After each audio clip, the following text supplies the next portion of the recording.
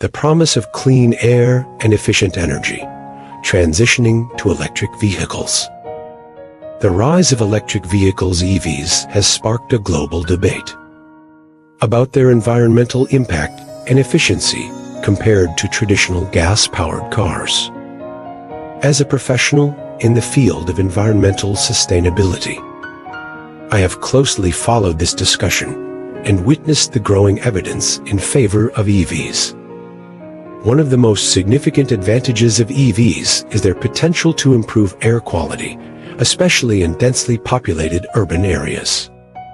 Gas-powered cars emit harmful pollutants, such as carbon monoxide, nitrogen oxides, and particulate matter, which contribute to respiratory illnesses and other health problems. EVs, on the other hand, produce zero tailpipe emissions, eliminating these pollutants from the air we breathe. The efficiency of EVs is another key factor to consider.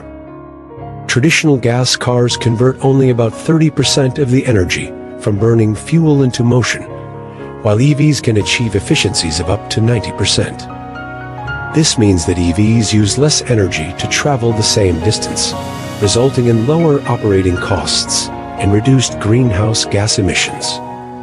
The transition to EVs also has implications for energy production. As more people adopt EVs, the demand for electricity will increase. This can drive investment in renewable energy sources such as solar and wind, which have a lower environmental impact than fossil fuels.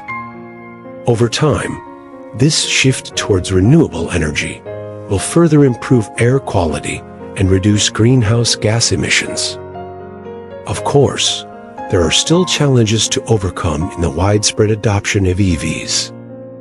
The initial cost of EVs is often higher than that of gas-powered cars. And the charging infrastructure is still developing in many areas. However, as technology continues to advance and governments implement policies. To support EV adoption, these challenges are likely to diminish. In conclusion, the transition to EVs offers a promising path towards cleaner air, improved energy efficiency, and a more sustainable future. As an advocate for environmental protection, I believe that EVs have the potential to revolutionize the transportation sector and contribute significantly to the fight against climate change.